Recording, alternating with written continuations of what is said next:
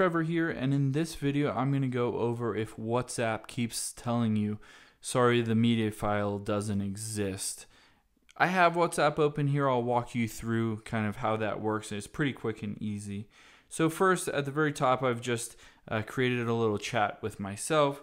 What I will do is I will just take a random photo and then send that over if you're in a chat and basically you see a photo but it's kind of blurry it's all it seems like it's all blurred out that means the media file that it whatsapp ref, whatsapp references isn't you know existing anymore either on your device or the server.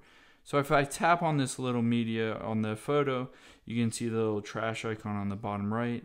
And then i can also go to all media and select and delete this so if I tap the delete button, I can tap delete for myself or delete for everyone. If somebody else, say, goes in there who has shared this media file, deletes it for everyone, then it'll ultimately delete it off of your your chat and you won't be able to see it anymore. Um, it'll say, you know, this media file can't be found. Um, ultimately, if you've just deleted it off of your chat, then what you can do is you can close out of this and you can go into just your photos here.